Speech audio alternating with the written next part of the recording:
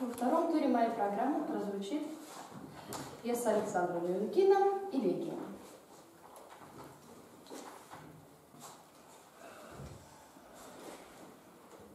Mm-hmm.